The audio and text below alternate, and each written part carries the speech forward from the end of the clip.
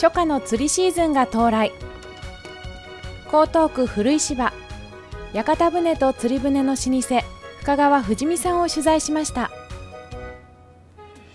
春は汽水石餅だとかねそういうのを主に夏から秋、まあ、歯での釣れる時期、うん、もういろいろ重なるからね炉でこう練ってね釣らせるっていうようなあの昔ながらの釣りのあれをやってるわけよ江戸末期に創業し6代目まで続く深川富士見さん。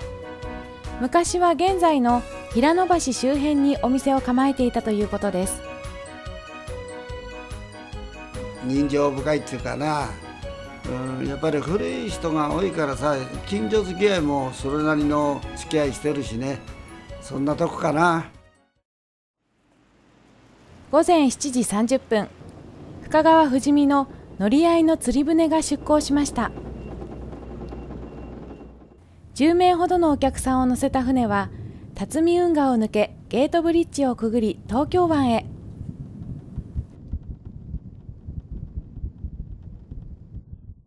およそ1時間で千葉県木更津沖のポイントに到着。お客さんたちは早速釣りの準備に取り掛かります。お目当ては白ギス。晩春から夏にかけて旬を迎え天ぷらなどで食べると美味と言われています。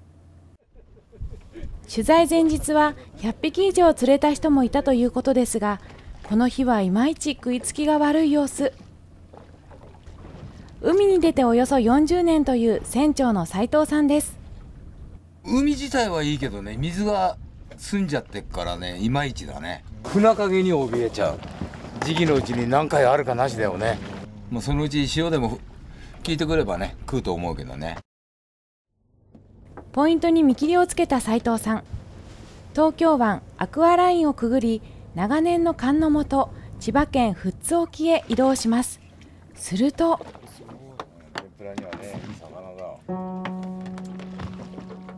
船長さんの勘が大当たり。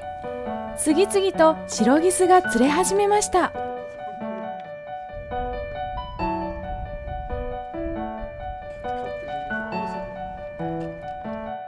釣れてるね今日は。